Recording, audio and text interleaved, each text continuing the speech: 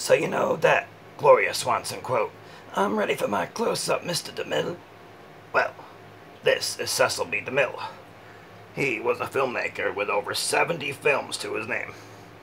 Lived between 1881 and 1959. I'm ready for my close-up, Mr. DeMille.